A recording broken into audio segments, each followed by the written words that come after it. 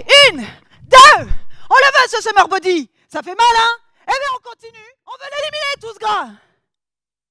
Bon, ça, c'est ma coach Nathalie. Et je suis pas tout à fait d'accord avec elle. Parce qu'en vrai, le gras, ben, c'est pas si mal. Et dans certains cas, ça peut même aider à soigner des gens. D'ailleurs, des chercheurs américains ont prélevé du gras d'une personne, l'ont réinjecté dans son cerveau pour atténuer sa maladie d'Alzheimer. Et vous savez quoi? Eh bien, ça marche. Apparemment, ce serait dû à la composition du gras, des cellules souches, des cellules immunitaires et des facteurs métaboliques qui boosteraient la régénération. Mais alors au labo, on s'est dit, si ça marche sur le cerveau, ça peut très bien marcher sur la moelle épinière. Vous savez, ce cordon de fibres nerveuses logé dans notre colonne vertébrale qui transfère les informations électriques de notre cerveau et qui nous permet de réaliser tous nos mouvements. Par contre, s'il y a une lésion au niveau de cette moelle épinière, la personne peut rester paralysée. Et encore aujourd'hui, on ne sait pas comment faire remarcher ces personnes. Alors moi, mon objectif dans un premier temps, ça va être d'utiliser du gras pour faire remarcher des rats. Enfin, je regarde si injecter du gras dans une moelle épinière de rat après une lésion peut la réparer et leur permettre de remarcher.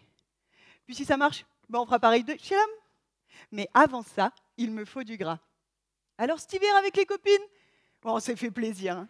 Des galettes, des raclettes, des galettes à la raclette. On a fait du gras. Eh, mais voilà, à la rentrée, bonne résolution oblige, il faut l'éliminer. Du coup, je suis retournée voir mes copines. Coucou les copines Une petite liposuction gratuite, ça vous tente? Et elles ont dit oui. Une fois tout ce gras collecté, j'en isole les cellules d'intérêt que je réinjecte dans la moelle épinière au niveau de la lésion.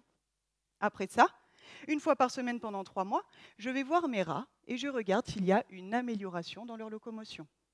Est-ce qu'ils sont capables de soutenir leur poids De faire des mouvements amples de leurs chevilles ou de leurs hanches? Est-ce qu'il y a une bonne coordination entre les pattes? À la fin des trois mois, avec des électrodes, je vérifie si l'information électrique repasse bien au travers de la lésion. Et vous savez quoi? Eh bien, ça marche!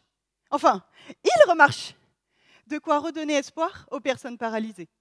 Maintenant, je veux savoir pourquoi ça marche. Ma prochaine étape sera donc d'aller voir directement dans la moelle épinière ce qu'il s'est passé au niveau cellulaire. Bon, du gras. On en a tous, hein Mais finalement, il pourrait être votre meilleur allié pour vous sauver. Alors la prochaine fois que vous critiquerez vos poignées d'amour, là, ben, dites-vous bien qu'un jour, elles pourraient vous porter secours. Puis de toute façon, comme on dit, le gras, c'est la vie.